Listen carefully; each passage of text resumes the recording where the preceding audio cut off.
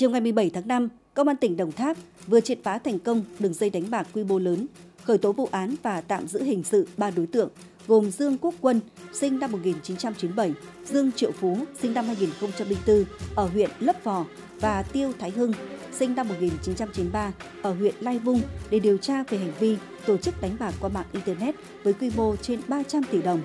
Trước đó, Công an tỉnh Đồng Tháp phối hợp với Cục An ninh mạng và Phòng chống tội phạm sử dụng công nghệ cao Bộ Công an đã huy động hơn 60 cán bộ chiến sĩ, đồng loạt triển khai 5 tổ chức công tác trong và ngoài tỉnh bắt nhiều đối tượng. Tăng vật thu giữ gồm 10 điện thoại di động, 18 máy tính sách tay cùng nhiều tăng vật khác có liên quan. Kết quả đối chiếu, tài khoản ngân hàng và dữ liệu điện tử thu thập xác định từ tháng 9 năm 2022 đến nay, Quân đã điều hành đường dây đánh bạc qua mạng Internet với tổng số tiền giao lên đến trên 300 tỷ đồng. Hiện vụ việc đang được tiếp tục điều tra làm rõ.